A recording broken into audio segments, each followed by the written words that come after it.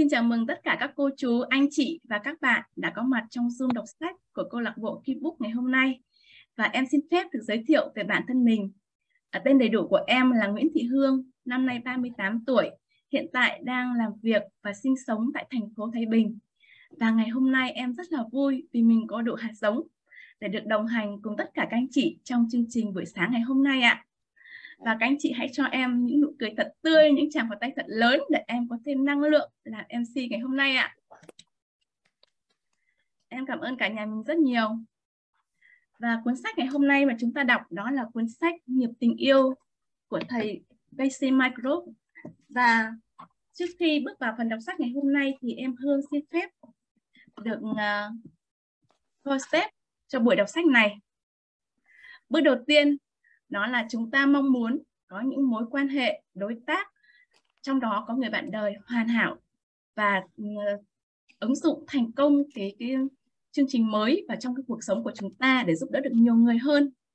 Bước 2 là chúng ta chọn tất cả các anh chị em trong Zoom là những mảnh đất màu mỡ để chúng ta lên kế hoạch đọc sách và cùng nhau chia sẻ những cái bài học mình nhận được. Và bước thứ ba là chúng ta cùng nhau đọc sách, cùng nhau chia sẻ những cái kinh nghiệm, những cái bài học, những cái giá trị mình nhận được mỗi ngày. Và vừa rồi thì em Hương đã xét chủ đích với ba bước đầu tiên. Bây giờ chúng ta sẽ đi vào phần thực hành của ngày hôm nay. Phần đọc sách của ngày hôm nay thì chúng ta đọc câu hỏi 1. Bắt đầu từ trang 15 và kết thúc ở trang 20. Và trong phần đọc sách này thì Hương xin mời hai anh chị chúng ta có thể là gieo hạt đọc sách cho buổi sáng ngày hôm nay được không ạ? Anh chị nào sẵn sàng thì xin mời chúng ta raise hand lên để Hương được biết ạ. À, Hương đã thấy hai cánh tay của Tấn Tiệp và của Võ Nghĩa. Xin cảm ơn sự gieo hạt của Tấn Tiệp và Võ Nghĩa nhé. Thì Hương xin mời Tuấn Tiệp sẽ đọc từ trang 15 cho đến phần gần cuối của trang 17 là bạn nhìn cái gì và ai đang nhìn. Và Võ Nghĩa sẽ đọc phần còn lại Xin mời Tuấn Tiệp ạ.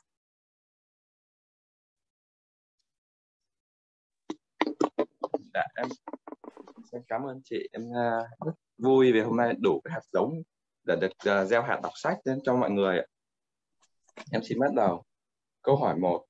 Lần đầu tiên tôi có bạn gái là vào năm lớp 6 khi tôi 16 tuổi. Kể từ đó tôi đã trải qua rất nhiều mối quan hệ, chắc phải đến hàng chục và gần như tất cả đều không có kết thúc tốt đẹp mặc dù khi mới bắt đầu tôi đã hy vọng rất nhiều. Tôi đã hy vọng rằng người này sẽ khác. Tôi đã thử mọi lời khuyên đọc tất cả các loại sách nhưng chẳng cái nào có tác dụng cả. Vậy nên với tôi vậy nên với câu hỏi đầu tiên này ông có thể nói ngắn gọn lý do vì sao cái phương pháp nghiệp tình yêu này lại có tác dụng trong khi những cái khác lại thất bại không Tôi biết bạn đã thử tất cả mọi thứ hoặc ít nhất đã thử rất nhiều thứ để tìm được một mối quan hệ tốt đẹp. Nhưng thứ mà bạn không thử thì bạn cũng đã nhìn người khác thử và thấy chúng không đem lại kết quả gì. Thế thì tôi nghĩ là chúng ta có thể đồng ý với nhau rằng nếu phương pháp nghiệp tình yêu có tác dụng thì chứng tỏ là một cái rất khác so với bất cứ thứ gì bạn đã từng biết đến trước đây. Và đúng là nó như vậy thật. Trước hết, nghiệp tình yêu là một phương pháp có hiệu quả và hiệu quả của nó phát huy trong mọi nơi, mọi lúc. Bạn thấy đấy. Gần như mọi việc chúng ta làm trong đời, chúng ta đều làm với suy nghĩ rằng nó có thể tác dụng hoặc không. Ngay cả việc uống thuốc đau đầu cũng vậy. Chúng ta nuốt viên thuốc rồi ngồi xuống và hy vọng nó có tác dụng. Nó có thể có mà cũng có thể không. Thật buồn là tất cả chúng ta đều quen với mọi thứ chỉ có tác dụng tạm thời. Không ai nghĩ đến việc đi ra nhà thuốc, trả lại cho họ lọ thuốc rỗng và đòi một lửa tiền vì một lửa số thuốc không có tác dụng. Chúng ta trở nên quen với thất bại.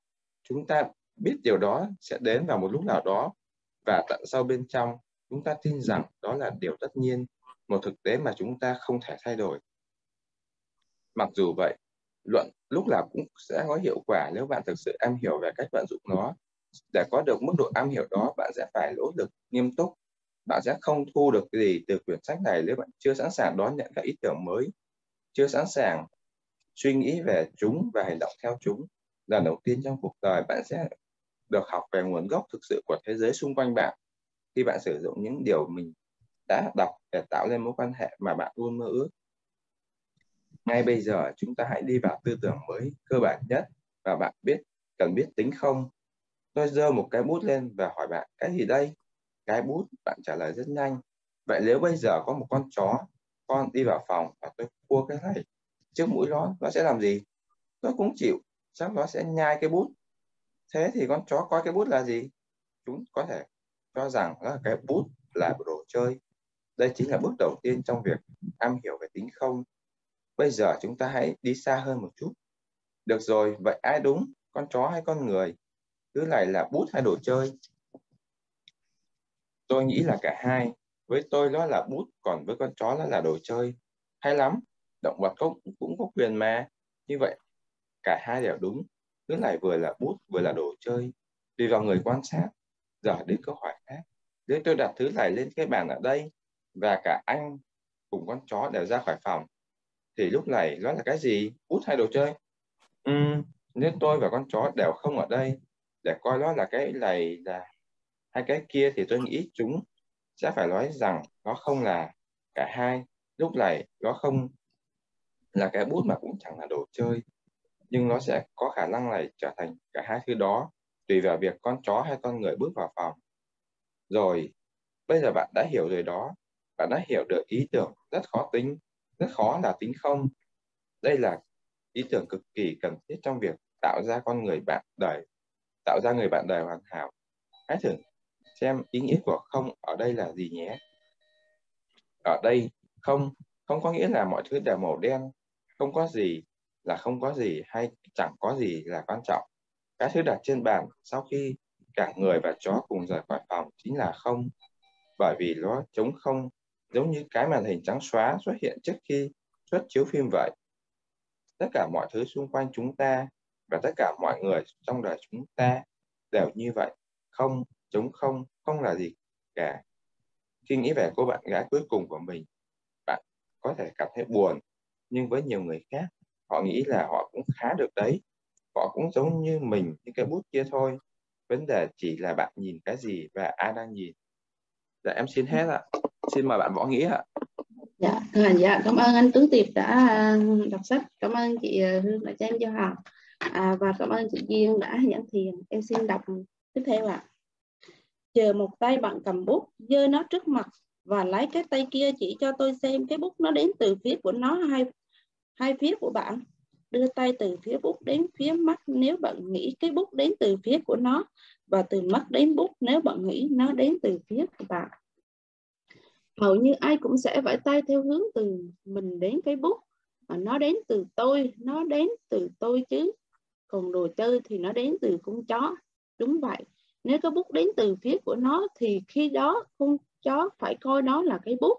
Thậm chí có khi đồ vồ lấy nó rồi viết một bài thơ cũng nên, một bài thơ dành cho người bạn gái của nó chẳng hạn. Em có một cái đuôi thật đẹp. Và ở đây chúng ta đã hiểu, cái bút nó đến từ phía chúng ta, bản thân nó chẳng phải là cái bút, cũng chẳng phải là đồ chơi. Nó trống không, nó không là gì cả. Và khi mình nhìn thấy một cái bút thì chắc chắn nó phải đến từ tâm trí mình nếu thế có phải chúng ta chỉ nhìn chỉ cần nhắm mắt lại và ước là biến là bút sẽ biến thành một chiếc nhẫn kim cương to đùng không? Thử đi xem thế nào. Bạn biết là nó sẽ chẳng, chẳng có tác dụng gì mà. Một người bạn trai mới tuyệt vời có thể đến từ tâm trí của bạn. Nhưng điều đó không có nghĩa là bạn chỉ cần nhắm mắt và ước thôi anh ấy sẽ xuất hiện. Chúng ta có thể ham muốn, ước mơ, cầu nguyện bao nhiêu thì tùy thích. Nhưng làm thế nào bao giờ trở thành hiện thực được? Tất cả những người cô đơn trên thế giới này đều mong ước rằng mình có ai đó nhưng việc ước thôi không thể khiến người đó xuất hiện. Vậy tại sao chúng ta nhìn thấy một cái bút nó xuất hiện từ tâm trí của chúng ta như thế nào? Trong tâm trí của chúng ta có hạt giống gọi là hạt giống nghiệp. Chúng ta nằm sau trong tiềm thức của chúng ta sau trong tâm trí của chúng ta đến thời điểm thích hợp, chúng nứt ra giống như hạt giống cây vậy tôi dơ một cái thanh màu đen mặt, màu đen trước mặt bạn, và trong một phần triệu giây, một hạt giống nghiệp trong tâm trí của bạn sẽ vỡ ra, rồi một hình ảnh rõ ràng về cái bút sẽ xuất hiện. Cái hình ảnh đó nhỏ bé về cái bút này nhảy ra đứng giữa bạn và cái thanh màu đen kia trong một phần ngàn giây. Thanh đến mức bạn không thể biết đó, nó đang diễn ra và thế là bạn nhìn thấy một cái bút. Và đó là một cái bút thật. Những hình ảnh trong tâm trí có năng lực tốt đến vậy cơ mà. Bạn có thể cầm nó lên và viết. Bạn có nhận ra chuyện này đang dẫn đến đâu không?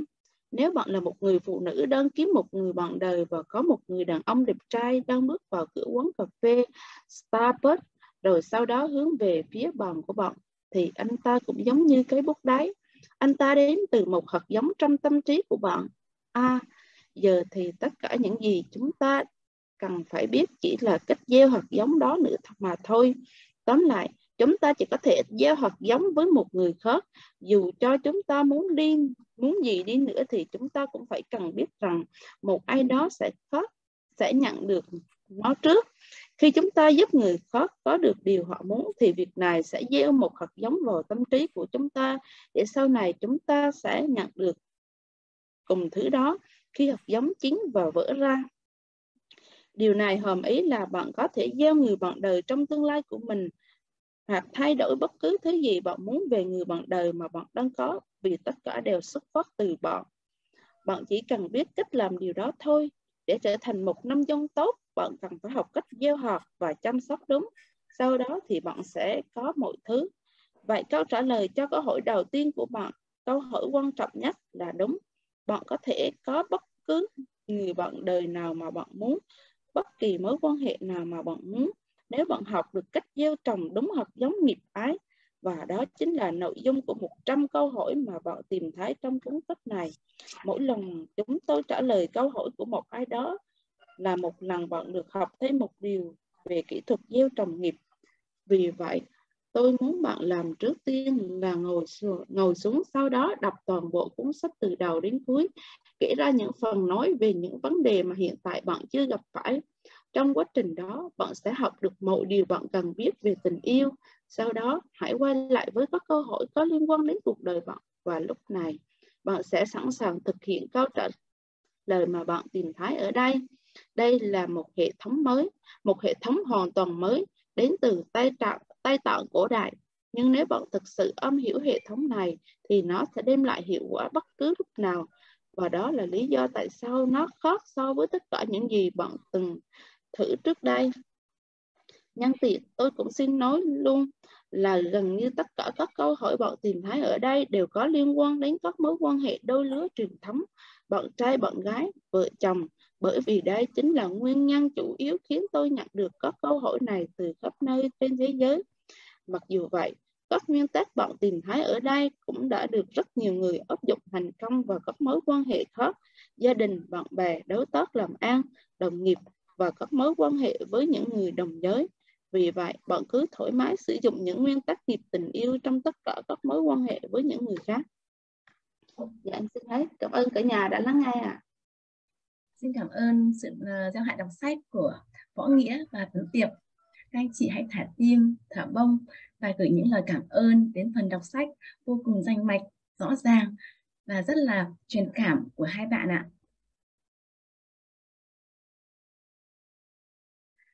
Và giờ đây thì chúng ta sẽ lắng lại một ít phút để chúng ta ghi lại uh, những bài học mà mình nhận được thông qua cái phần đọc sách vừa rồi các anh chị nhé.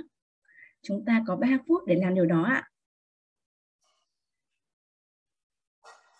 Như vậy chúng ta đã hết 3 phút để viết lại những cái bài học, những cái giá trị mình nhận được thông qua những trang sách mình vừa đọc. Và bây giờ chúng ta sẽ đến phần thứ ba của buổi sáng ngày hôm nay. Đó là phần ứng dụng những bài học trong câu chuyện cây bút và trong cuộc sống và trong đời sống của chúng ta thì xin mời tất cả các anh chị chúng ta cùng thả tim, thả bông và những lời nói yêu thương để Hương mời lên đây một người em vô cùng là tuyệt vời. Em đã có ứng dụng bốn bài học trong câu chuyện cây bút vào cuộc sống của mình để thay đổi cuộc sống của mình. Và xin mời em Thùy Dương ạ. Dạ, em xin chào Titi Nguyễn Lê, xin chào cả nhà mình.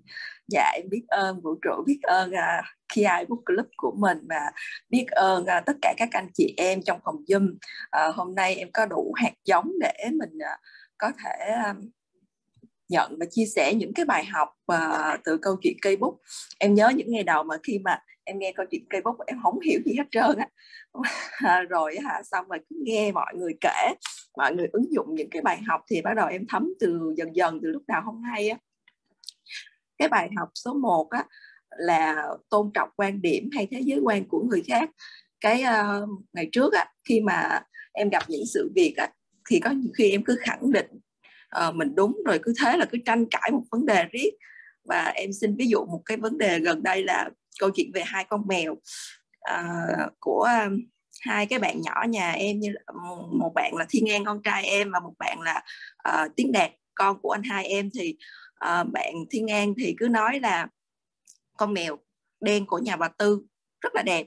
Bạn tiến đạt thì lại nói là con mèo trắng đẹp hơn. Hai bạn cứ tranh cãi một hồi. Sau đó em mới nói là uh, con mèo đen á theo thế giới quan của ờ, em Thiên An thì con mèo đen là đẹp. Nhưng mà theo thế giới quan của anh Tiến Đạt thì con mèo trắng là rất là đẹp. Cho nên ở đây không có ai đúng ai sai hết. À, thế là hai bạn đồng ý không cãi nhau nữa. Đó là em đã áp dụng được bài học số 1 à. à còn à, bài học số 2 thì mọi thứ đều có tính không cho nên là nó có ờ, tiềm năng vô hạn để trở thành bất cứ thứ gì. Không là bởi vì nó không có không bởi vì là nó trống không uh, nó giống như một cái màn hình trắng. Còn uh, không có nghĩa là mọi thứ uh, không có nghĩa là không mọi thứ không đều không có đen hay là không có uh, quan trọng gì cả. Trước kia thì em ờ, không hề biết thiền đâu. Và từ khi mà em vô nhóm đọc sách thì em lại muốn mình thiền sâu hơn và mình uh, dẫn thiền. Luôn là ở một vài buổi trong nhóm đọc sách của mình và một cái nhóm học lớp khác của em thì em cảm thấy là mình cũng thay đổi tốt dần dần nên cho nên đó là uh, không gì là không thể cả. Mọi thứ đều có tiềm năng vô hạn. Bản thân mình mình có thể vượt qua những cái giới hạn của bản thân mình ạ. Còn bài học số 3 là à, mọi thứ đều đến từ hạt giống trong tâm trí của tôi là tôi phải chịu trách nhiệm một trăm phần trăm về cái kết quả mà tôi đạt được. Đó là khi mà em gặp ngày trước á khi em gặp điều mà bất như ý á, thì em hay ờ, đổ lỗi và nghĩ mình ủa mình tại sao mình đâu có làm điều đó đâu mà bây giờ mình phải đón nhận như vậy? Nhưng mà có một cái ví dụ gần đây rất là gần đây luôn ạ à, là em làm MC xong em uh, giới thiệu nhầm vai trò của hai người. Đó sau đó là em cũng cảm thấy buồn và cứ cứ suy nghĩ về điều đó. Thì em được chị Hồng Bùi chia sẻ là là do cái uh, cái hạt mà em gieo trong quá khứ hạt nhầm thì tới ngày hôm nay nó nở. Em đừng có nên dính mắt vào những cái chuyện đó. Thế là tự nhiên em nhận ra được cái bài học là uh, khi mà mình gặp một vấn đề bất như ý thì mình cần phải uh, chậm lại quan sát chậm lại 3 giây để quan sát cái thân tâm của mình và mình hiểu là muốn đạt được cái điều gì đó thì mình hãy gieo trồng cái hạt giống tốt hơn. Nó dù có nhỏ nó cũng có khả năng phát triển rất là mạnh. Mà những hạt giống xấu thì mình nên vừa stop nó đi mình đừng có gì, suy nghĩ gì tới nó để nó đừng có được tưới nước đừng có phát triển nữa. Dạ bài học số 4 là uh, không có chỉ uh, không thể chỉ ước mà có mà mình phải gieo trồng bằng cái ba bước. Uh, gieo trồng để có kết quả ừ, như là hành động bằng hành động lời nói và ý nghĩ. Dạ thật đúng là như vậy. Khi mà gieo trồng hạt giống với một cái tâm thật là hào phóng thật là hạnh phúc happy với cái việc mình làm á à, mình muốn điều gì thì mình gieo cho người khác cái điều đó. Tự nhiên em thấy cái cuộc sống của em nó nó cảm giác nó an nhiên nó nhẹ nhàng mà nó mọi điều nó đến em đón nhận một cách rất là nhẹ nhàng luôn. Như là uh, hồi ngày trước á em ờ, ví dụ em biết một vấn đề gì về kiến thức của mình hay là một vấn đề gì khác á mọi người hỏi thì em vẫn hay chia sẻ. Nhưng mà nhiều lúc á, mình chia sẻ mình không có vui. Có lúc mình cũng không có vui thật sự là như vậy. Sau đó là khi mà em học em biết tới uh, những cái bài học này á thì em nghĩ là mình nên gieo một cái thái độ tích cực happy hơn á, hạnh phúc hơn á, hào phóng với cái tâm hào phóng của mình. Mình muốn điều gì mình gieo cho người khác điều đó thế là em ờ, em gieo ờ, những cái kiến thức những cái gì mà em biết cho mọi người hay ai hỏi cái gì em chia sẻ rất nhiệt tình mà em cảm thấy hạnh phúc với cái điều đó đó. Thế là từ từ á. Cái quả của em đỡ hay sao á, thì em thấy là cái trí của em á, nó sáng hẳn ra luôn. Mà em học hay hiểu hay một cái vấn đề gì đó hay đọc sách á, em thấy nó nó nhanh lắm. Em đúc kết mọi việc cũng nhanh lắm. Rồi á còn một cái uh, câu chuyện khác như là em á dạo này em cũng hay tích cực gieo cái như ý cái gì kết nối với mọi người á. Để mới gần đây em cũng nhận được một cái quả rất là nhỏ nhưng mà em cảm thấy vui bởi vì á à, mẹ và gia đình anh hai em thì cũng uh, nói chung là cũng không hòa hợp cho lắm. Nhưng mà khi mà em gieo vậy á thì uh, có một ngày anh anh chị em về chơi thì uh, em cũng đề nghị là hai bên cùng ăn cơm này kia thì à, thấy mọi người cũng rất là vui. À, nói chung là không cái không khí nó rất là nhẹ nhàng nó, nó không có như trước kia. Đó. Tự nhiên á, em thì à, lúc trước khi vô thì em kể rất bình thường nhưng mà tự nhiên bây giờ em lại xúc động về cái chuyện đó. Chắc là mình cảm thấy hạnh phúc vì vì cái điều mà mình đã đã làm được như vậy. Rồi à, rồi em cũng hay gieo cái sự yêu thương lên uh, ba mẹ em rồi con trai em. Uh, cho nên đó là hàng ngày đó em thấy um, con trai em nó hay quan tâm mọi người trong gia đình lắm. Uh, nào là mẹ có đau hay không ừ, ông bà uh, có ăn được hay không rồi nhiều khi lấy thuốc cho mẹ lấy thuốc này cho kia dù con trai mới có bốn tuổi rưỡi nhưng mà nó rất là hiểu chuyện. Uh, uh, hàng ngày buổi tối thì trước khi đi ngủ là hay à, con yêu mẹ chúc mẹ ngủ ngon buổi sáng. Dậy thì à, chúc mẹ ờ, ngày mới tốt lành con yêu mẹ. Rồi mẹ đi ra đường thì mẹ nhớ bảo trọng nha. Tự nhiên em cảm thấy rất là vui rất là hạnh phúc. Và một điều nữa là em cũng hay gieo cái sự hân hoan ngưỡng mộ tới người khác á, với cái thành công của người khác. Vì á, em em biết mình khi mà mình làm điều đó thì mình sẽ là mình trong tương lai. Cho nên là điều em muốn nói chia sẻ cuối cùng ở đây đó là hãy gieo hạt thế giới quan đúng đắn với một cái tâm thật là hào phóng. Um, nếu mà mình làm được những cái uh, những cái điều này tốt thì mình sẽ làm tốt những hạt giống thiện nghiệp. Uh, còn lại uh, hạnh phúc và an nhiên sẽ đến với mình. Dạ em xin hết biết ơn cả nhà vâng xin cảm ơn phần chia sẻ ứng dụng bốn bài học trong câu chuyện cây bút và trong cuộc sống của em Dương và đã thay đổi được cuộc sống của em Dương rất là nhiều. Và không chỉ với em Dương và tất cả mọi người chúng ta khi được lắng nghe câu chuyện cây bút được thực hành kể nó mỗi ngày thì đã thay đổi cuộc sống của chúng ta. Và câu chuyện cây bút với bốn bài học luôn là kim chỉ nan để giúp chúng ta có thể giải quyết mọi vấn đề trong cuộc sống một cách tốt đẹp hơn. Và bây giờ tất cả các anh chị chúng ta hãy cùng um, hương mời lên đây. Phần chia sẻ của hai anh chị trong cái phần đọc sách vừa rồi chúng ta đã rút ra được những bài học những cái giá trị gì thì hương xin mời hai cánh tay để có thể chia sẻ được những bài học tâm đắc nhất mình rút được ra trong cái phần đọc sách vừa rồi ạ. Dạ, em đã nhìn thấy một cánh tay giơ lên của chị Hải Vân ạ. Em xin mời chị ạ. Dạ, em à, xin chào các anh các chị ạ. À, sau khi đọc uh, câu chuyện câu hỏi thứ nhất của uh, quyển sách nghiệp tình yêu thì em xin rút ra được ba bài học cho mình ạ. Đó là khi mọi thứ đến ờ, không tốt đến với mình á, thì hãy cho phép mình tin và áp dụng một cách mới. Ở đấy đây là cách mới đấy chính là cái cách hướng thầy hướng dẫn trong nghiệp tình yêu và năng đoàn kim cương ấy.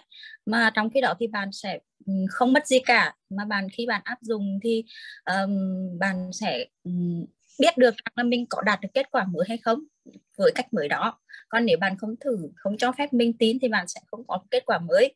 Cái bài học thứ hai là bởi vì mọi thứ có tính không? Cho nên là ừ, nó có tính tiềm năng vô hạn. Và chồng người chồng của bạn cũng là tính không? Vì vậy mà bạn có thể có được người chồng như bạn mong muốn nếu bạn biết cách gieo trong hạt giống trong tâm trí của mình. Và cái à, bài học thứ ba ở trong trong cái phần này đó là uh, trong cái cuốn cuốn sách xuyên suốt của cuốn sách nhập tình yêu á, thì có 100 câu hỏi à, mà thực tế đã xảy ra trong cuộc sống và thầy đã đưa ra các cái kỹ thuật gieo trồng để giúp cho mình là à, thứ nhất là xử lý cái vấn đề của mình thứ hai nữa là biết cách để gieo trồng để có một cái tương lai tốt đẹp hơn trong uh, trong trong trong khoảng uh, ờ, trong tiếp trong tương lai của mình. Và cái kỹ thuật này không chỉ áp dụng trong mối quan hệ với chồng mà mối quan hệ với gia đình bạn bè uh, đồng nghiệp và các mối quan hệ khác. Vì vậy hãy cho phép mình uh, uh, chủ động trong vấn đề là tạo ra tương lai của mình bằng cách gieo trong hạt giống. Em xin cảm ơn cả nhà đã cho em cơ hội được gieo hạt ạ. Em biết ơn ạ xin cảm ơn phần gieo hạt chia sẻ của Hải Vân còn anh chị nào trong Zoom muốn chia sẻ bài học nữa không ạ mỗi lần mình chia sẻ là mình đang tái gieo lại hạt giống của mình để trí tuệ của mình ngày càng sáng suốt hơn đấy ạ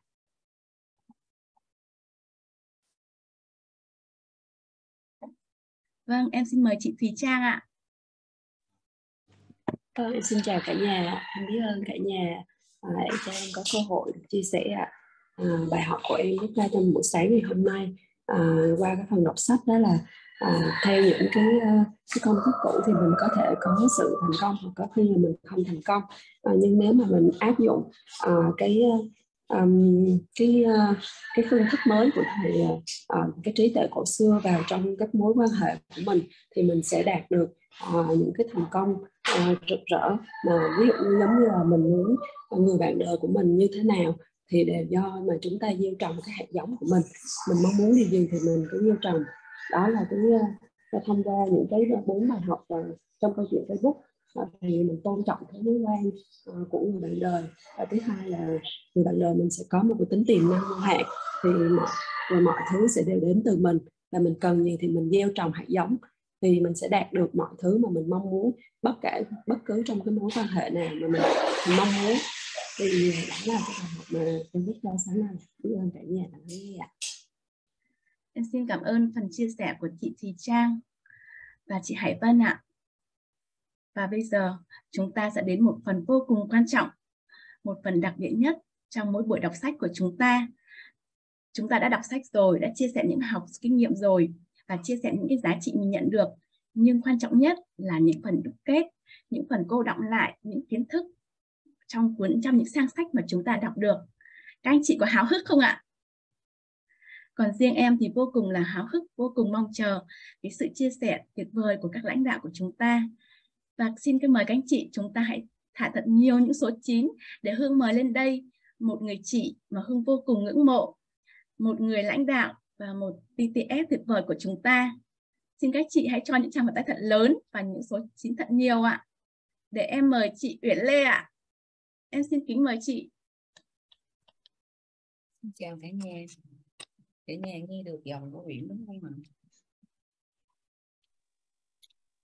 Dạ bạn, có ạ bạn Nhật Thủy bạn Nhật Thủy có thể ray hand lên được không ray hand lên bạn Nhật Thủy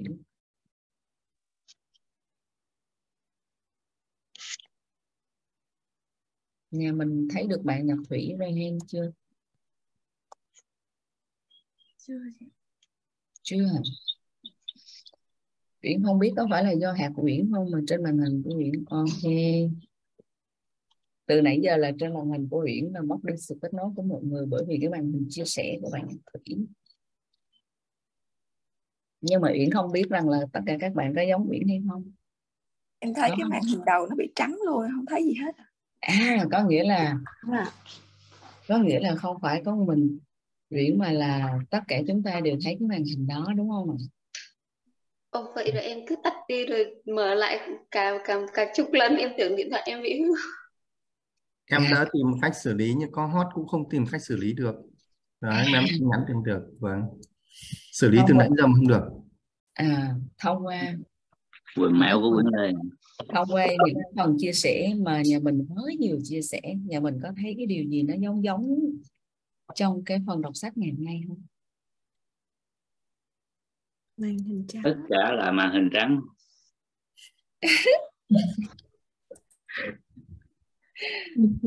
Tuyệt vời quá. Nhà mình hãy hãy hãy thêm một lần nữa. Hãy thêm một lần nữa cho mình ra được cái keyword tính không và bắt đầu, và bắt đầu tua lại và bắt đầu tua lại. Từ cái nội dung đầu tiên. Và thông qua cái ẩn dụ vừa rồi ngoài cái màn hình trắng nói lên cái sự trống không của anh Bảo thì nhà mình có nhìn thấy không có gì bên trong của bất kỳ thứ gì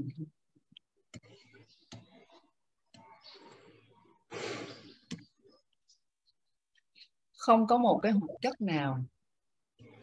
Nó nằm ở bên trong của viên aspirin để nó hiệu quả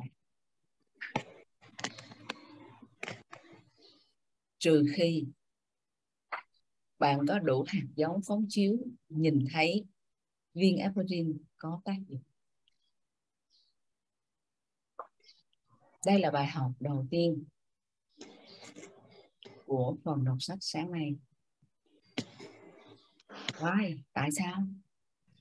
Tại vì lâu nay ta hiểu nhầm mọi thứ nó đến từ chính nó cho nên ta mới nhìn thấy cái màn hình trắng đó. Và ta nghĩ nó đến từ nhật thủy. Theo một cái thói quen thông thường, ta cứ nghĩ là à đó là nhật thủy. Và ngay bản thân của uyển cũng vậy thôi. Uyển cũng mới vừa phát hiện ra không có cái thứ gì nằm ở bên trong nhật thủy cả.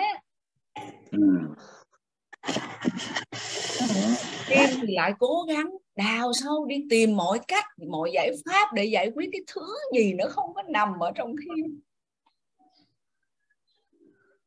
một cái một cái một cái cách thông thường một cái thói quen từ xưa đến giờ mà mình luôn mình luôn nhìn thấy là mọi thứ đến từ chính nó cho nên mình đi tìm nhật thủy và nhật thủy cũng hiểu nhầm cái điều đó cho nên nhật thủy mới xin lỗi mọi người nhưng mà màn, màn hình trắng đó nó đến từ đâu cả nhà? Cái hình ảnh đó nó đến từ đâu? Nó đến từ tất cả những cái hạt giống phóng chiếu trong tâm trí của chúng ta ra bên ngoài. Bởi vì uyển đủ hạt giống chỉ nhìn thấy cái màn hình trắng đó mà nhưng mà bởi vì một sự hiểu nhầm từ xưa tới giờ mình chưa có bao giờ thay đổi được mà cũng chưa có thể thay đổi được trong tức thì ngay cuộc sống hiện tại khi nó diễn ra. Ta đọc biết bao nhiêu sách ta nghe biết bao nhiêu câu chuyện cái bút và ta cũng luôn luôn hiểu mọi thứ đến từ chính chúng ta. Nhưng mà khi xảy ra cái sự việc như thế sao à? ta cũng mất đi sự bình tĩnh. Và ta cũng đi tìm mọi thứ. Dội giải pháp. Nhưng tất cả nó đều không có hiệu quả. Hoặc may bị, nó mới hiệu quả. Cái cách của chuyện gọi nhật thủy đâu, mình giơ tay nhé nó may bị để cho nhật thủy có cái hạt giống tập trung trở lại vậy thì điều gì nó đang diễn ra? Nếu như mình nhìn thấy được cái hạt giống ngay tức thì đó, ngay tức thì đó, nếu như mình nhìn thấy được có một cái hạt giống nào đó, mình cần phải stop và force trở lại. Tại sao mình stop?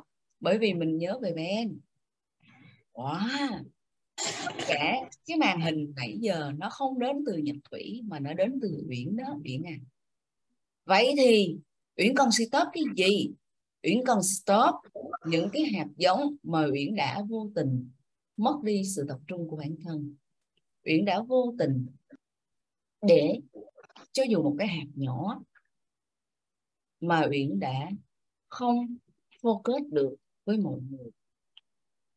Cho dù một cái hạt giống nhỏ, uyển đã vô tình dẫn ra cái hình ảnh phóng chiếu cho uyển thấy trở lại trong ngày hôm nay. Và bây giờ uyển chỉ force thôi. Vậy thì uyển force cái gì? Uyển force điều uyển muốn nói. Nhật Thủy ơi, hãy giơ tay lên nào. Uyển đang muốn mình có sự kết nối với Nhật Thủy. Uyển đang muốn có sự kết nối với mình. Uyển đang muốn nhận được sự tương tác của mọi người chứ không thờ ơ và những dư trước những người khác. Điều gì sẽ xảy ra? Cho dù Kim cứ cố gắng tìm giải pháp để đóng nó, có đóng được đâu. Không. Và cho dù Uyển có kêu Nhật Thủy cỡ nào cũng có kêu được đâu không, chỉ trừ khi mình đủ hạt giống phóng chiếu ra, không nhìn thấy màn hình trắng nó nữa. Là lúc mình đã hiểu được rằng, wow, thật là tuyệt vời. Chuyện không biết là nhật thủy có nghe được những gì trong suy nghĩ của chuyện phóng chiếu hay không, nhưng chuyện tin rằng một khi chuyện đã phóng ra được bước một của mình, thì chắc chắn bước hai sẽ xuất hiện và mình nhớ là tiếp này một khi mình phóng chiếu ra được bước một của mình, thì bước hai sẽ xuất hiện. Bước hai không có xuất hiện, chỉ trừ khi tôi chưa có được bước một chính xác. Vậy thì trong tất cả các mối quan hệ, bạn đang ở bước nào? Bạn đã có bước một cho mình chưa? Bạn vẫn còn đang tìm kiếm hay gìn giữ? Hay là bây giờ bạn đã có rồi, cũng gìn giữ được rồi, nhưng cảm thấy không hạnh phúc? Hay là bạn đang cảm thấy hạnh phúc, nhưng bạn sợ rằng đến một lúc nào đó nó tự động lụi tàn đi? Vậy thì trong bốn cấp độ của mối quan hệ, bạn đang muốn bước một của mình là gì? Khi bạn đủ hạt giống, nhận ra được bước một của mình và biết được mình đang ở cấp độ nào của bốn cấp độ đó, thì bạn mới rõ được rõ được cái việc là cái điều mà bạn muốn nó đến từ chính bạn, hay nó đến từ cái điều mong muốn đó. Hãy nhớ rằng, không có bất kỳ thứ gì nó nằm ở trong bất cứ thứ gì không có một cái hạnh phúc nào nó nằm ở trong bất kỳ một mối quan hệ nào. Không có bất kỳ cái gìn giữ nào nó nằm trong bất kỳ một mối quan hệ nào. Trừ khi bạn có đủ hạt giống gìn giữ, thì bạn sẽ phóng chiếu ra cái gìn giữ để bạn được nhìn thấy. Bài học cho chúng ta ngày hôm nay là hãy quay về sự hiểu đúng đắn. Không có bất kỳ thứ gì nằm trong thứ gì. Tất cả nó đều strong time airline bạn muốn mình đủ hạt giống phóng chiếu ra bất kỳ thứ gì mà bạn muốn. Trừ khi bạn hiểu được nó đến từ chính bạn. Và nó không có giới hạn nếu như mình hiểu rằng nó có giới hạn, thì những gì mình đang nhìn thấy là nó đến từ chính nó. Còn nếu như mình cho rằng nó không có giới hạn, nó rất là tiềm năng, thì cái tiềm năng đó nó đến từ chính mình. Vậy thì còn chần chừ gì nữa mà không liên hệ với mình, không liên tưởng về mình để hỏi xem mình đang muốn gì trong tất cả các mối quan hệ. Khi bạn đủ hạt giống để gieo trồng được cho tất cả các mối quan hệ cá nhân của bạn, cho chính cái mối quan hệ cá nhân của bạn, thì đó cũng là cách để bạn tạo ra tất cả các mối quan hệ trong cuộc đời của các bạn. Hãy nhớ rằng, trong tất cả các mối quan hệ nó đều luôn luôn có bốn cấp độ cái cách mà bạn có được cái kết quả của mối quan hệ cá nhân bạn cũng là cách mà bạn tạo ra kết quả tốt đẹp của tất cả các mối quan hệ xung quanh bạn. Điều gì sẽ xảy ra? Không những mình có hạnh phúc của cá nhân, mà mình còn có cả hạnh phúc của tất cả các mối quan hệ hiện tại nếu như tất cả các bạn là kinh doanh, bạn chỉ cần hạnh phúc với khách hàng của mình thôi, thì thôi rồi, khỏi phải nóng. Có phải công việc kinh doanh của bạn thành công không? Nếu như tất cả các bạn đều là chủ doanh nghiệp, mà các bạn đều hạnh phúc với tất cả các đội ngũ nhân viên của mình, vậy thì không cần có các bạn, doanh nghiệp vẫn phát triển. Tuyệt vời chưa? Nếu như tuyệt vời thì hãy thả hoa, thả tim đi chứ sao ngồi mà nghĩ hoài vậy?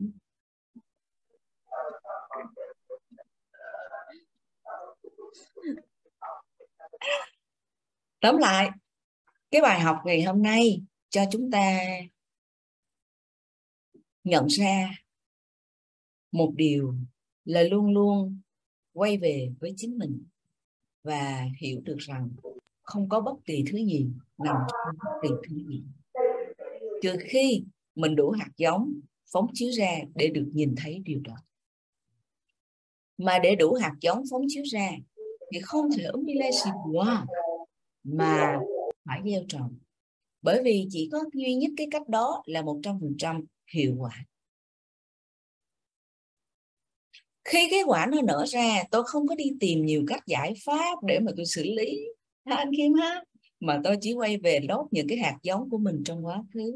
Để mình xem cái hạt giống nào cho mình đủ hạt giống nhìn thấy cái sự phóng chiếu tiếp theo, một cái bước bay tiếp theo, nó sẽ như thế nào? Chỉ thế thôi. Và một khi mình đã xử lý nó được rồi thì mình biết nó đã hết rồi nha. Mình phải bắt đầu sao ạ? Gieo trồng lại cái mới. Để lần sau mà có một cái màn hình trắng nó quay về lại, mình còn có cái để mà xài bởi vì không có cái hạt giống nào nó tồn tại mãi mãi. Nhớ nha. À và đây là cách mà chúng ta cần phải luôn gieo mới và tái đầu tư mới tất cả những cái quả mà chúng ta đang nhận. Hãy nhớ rằng, một khi cái quả mà tôi đang nhìn thấy là nó đã tự giết chết chính nó rồi. Ngay kể cả quả xấu hay là quả tốt, nó đều đã giết chết chính nó khi mình đủ hạt giống, nhìn thấy vậy thì đối với những cái hạt giống quả tốt, thì khi tôi nhìn thấy nó, nghĩa là tôi biết sao ạ? À? không thể nào tận hưởng với nó nữa. Không thể nào tận hưởng với nó mãi mãi nữa. Wow! Ngay lúc này tôi dùng ngay bốn step, bốn bước để tôi sao ạ? À? refresh lại nó. Làm mới lại nó. Để rồi nó mãi mãi diễn ra cho tôi. Không những cái khoảnh khắc này, mà khoảnh khắc kế tiếp nó cũng sẽ diễn ra với tôi. Nó không diễn ra với bạn, chỉ trừ khi bạn mãi mê mà tận hưởng với nó. Nhớ nhé, nó không xảy ra với bạn trong cái giây phút tiếp theo, trong cái bốn tay kế tiếp, là bởi vì bạn đang tận hưởng với nó mà bạn quên mất phải làm với nó. Được chưa? Yeah. vậy thì còn lại 4 phút chuyển tặng cho bạn nào có những câu hỏi liên quan tới bài học ngày hôm nay? Có thể giơ tay. Yes mời thùy trang. Dạ em cảm ơn chị. À, chị à, là cho em xin hỏi bốn cấp độ của mối quan hệ thì hồi nãy em có nghe chị nói là thứ nhất là tìm kiếm thứ hai là gìn giữ. À, và còn hai cấp độ tiếp theo nữa là gì ạ? Em cảm ơn hạnh chị phúc, hạnh phúc. Hạnh phúc yêu thương. Tại vì mình gìn giữ nhưng mà mối quan hệ của mình nó cũng đôi khi hạnh phúc nhưng mà đôi khi lại cãi vã nhau. Mình có muốn một cái mối quan hệ nó duy trì nó bền lâu mà suốt ngày cứ gây gỗ không. Mình chỉ muốn có những mối quan hệ mà mình gìn giữ, nhưng lúc nào nó cũng phải có cái gì đó không rời nhau. Có cái gì đó mãi cười bên thì đó là cấp độ thứ ba. Tôi gìn giữ nó để tiêu yêu thương nó, chứ không phải tôi gìn giữ nó để rồi tôi dằn vặt bên nhau tôi chỉ u đừng với nhau. Wow, lúc trước cưới sao thấy em dễ thương quá, bây giờ cưới rồi lại thấy người khác dễ thương như vậy thì khi mình gìn giữ rồi, mình phải làm sao để mình mãi mãi như là người đầu tiên, như là người ban đầu, yêu hơn chưa yêu lần nào. Thích không? Ừ.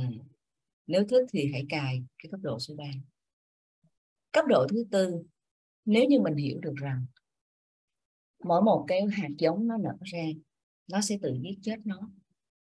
Vậy thì cái cách mà để bạn luôn luôn gìn giữ cái mối quan hệ của bạn bền lâu thì đó là cách bạn phải dùng cái kết quả, cái tình yêu mà bạn có được hiện tại. Chia sẻ cái kết quả này cho những người khác có được.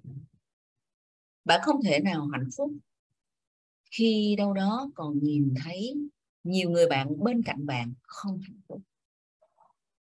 Bạn không thể nào là một cặp đôi hoàn hảo khi có một người bạn nào đó nói rằng, sao tao cảm thấy lấy chồng là địa ngục? Sao tao cảm thấy lấy vợ là như ở trong tù? Vậy cái cách cái cấp độ thứ tư là mang cái tình yêu thương của mình giúp cả thế giới. Hãy cùng nhau giúp cả thế giới. Đó là cấp độ thứ tư.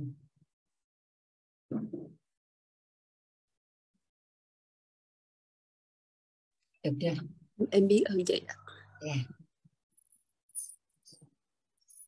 rồi đúng giờ luôn. Chuyện xin trả lại ban tổ chức nếu như không có cần câu hỏi biết ơn cả nhà. Hôm nay đã đủ hạt giống. Lại một lần nữa nhìn ra không có gì trong bất kỳ thứ gì. Nhớ nha không có gì trong bất kỳ thứ gì. Được không? Được ạ. thấy hồng vân lật đầu lật đầu lia lịa luôn đó. Rồi ok. Biết ơn cả nhà uyển biết rằng là uyển có hạt giống luôn luôn mang lại sự tử tế cho người khác cho nên là sáng hôm nay uyển nhìn thấy mọi người cười với nhau. Đó đó là cách uyển nói rằng tất cả các hình ảnh uyển đang nhìn thấy các bạn cười nó không có đến từ chính các bạn mà nó đến từ uyển có đủ hạt giống của sự tử tế uyển mới nhìn thấy được các bạn cười. Vậy thì nếu như trong tất cả các mối quan hệ mà mình chưa đủ nhìn thấy người bạn đời của mình, các mối quan hệ của mình thể hiện được tình yêu thương của mình, thì mình hãy luôn luôn smile. Hãy luôn luôn cười. Để mình đủ hạt giống, phóng chiếu cho mình nhìn thấy các mối quan hệ của mình sẽ luôn luôn thể hiện được tình cảm của mình. Đồng ý không? Có phải các bạn đang cười là các bạn đang thể hiện tình cảm với uyển không? Chứ uyển nói mà các bạn khóc chắc uyển xua rồi. Đồng ý không? Dạ rồi, uyển gửi lại cho ban tổ chức nha uyển biết ơn cả nhà. Dạ vâng ạ. Em rất là biết ơn. Em thay mặt cho tất cả các anh chị trong zoom 83 anh chị. Biết ơn phần chia sẻ rất là tuyệt vời, rất là sâu sắc của TTS Biển Lê và bây giờ, chúng ta phải comment những lời cảm ơn và thả thật nhiều thật nhiều bông, thật nhiều tim. Gửi lời biết ơn tới chị Uyển Lê ạ. Và bây giờ chúng ta có một phút để viết to-do list trong ngày hôm nay. Dạ cả nhà mình đã viết xong to-do list chưa ạ? Nếu anh chị nào chưa hoàn thành thì lát nữa sau cái zoom này chúng mình hoàn thành hoàn thành nhé và một lần nữa thì em xin cảm ơn sự chia sẻ rất là sâu sắc của chị Yển Lê và sự có mặt của chị trong buổi sáng ngày hôm nay. Tất cả những bài học mà tất cả các anh chị đã nhận được từ TTS của chúng ta thì các anh chị hãy vui lòng chúng ta viết lại những bài học đó và chúng ta bút lên nhóm để cho tất cả những anh chị chưa đủ hạt giống nhận à, vào Zoom sáng nay sẽ nhận được những bài học giá trị từ TTS của chúng ta. Và bây giờ thì em xin phép khép lại bước 4 của buổi sáng ngày hôm nay. À, biết ơn tất cả chúng ta đã có đủ hạt giống để chúng ta xuất hiện trong Zoom sáng nay để lắng nghe những sự chia sẻ rất là sâu sắc của lãnh đạo Uyển Lê. Biết ơn phần dẫn thiền của chị Đặng Diên, phần chia sẻ ứng dụng bốn bài học câu chuyện cây bút của em Thì Dương. Biết ơn phần đọc sách của bạn Võ Nghĩa, bạn Tấn Tiệp và biết ơn phần chia sẻ những bài học của chị Thùy Trang, chị Hải Vân. Và biết ơn chính bản thân chúng ta đã có đủ hạt giống để ứng dụng hệ thống mới để lan tỏa đến mọi người. Chúng ta hãy vui vẻ nghĩ về những hạt giống mối quan hệ mà chúng ta đã gieo trồng. Và nếu tất cả những điều sáng nay chúng ta làm là sự thật, thì chúng ta sẽ tặng những hạt giống này cho tất cả những anh chị họ đang cần hạt giống để họ có thể tham gia đầy đủ Zoom mỗi buổi sáng cùng chúng ta để giúp cho trí tuệ sáng suốt hơn mỗi ngày. Và bây giờ cả nhà mình hãy cười thật tươi, hãy cùng chào nhau để kết thúc buổi Zoom ngày sáng nay ạ. Vâng, mọi người cùng thả bông thả hoa để Khiêm Trần chụp ảnh nhé. Em cảm ơn anh Khiêm. Lúc nào cũng chu đáo. vâng cảm ơn cả nhà mình nhất ơn chị Huyền Lê. Xin chào cả nhà mình chúc cả nhà mình ngày mới. Lành xin chào cả nhà. Xin chào cả nhà. Cảm ơn cả nhà rất nhiều nhà ngày mới năng lượng. Biết ơn cả nhà, chúc cả nhà ngày mới. Biết ơn, biết ơn cả nhà. Cả nhà, cả nhà.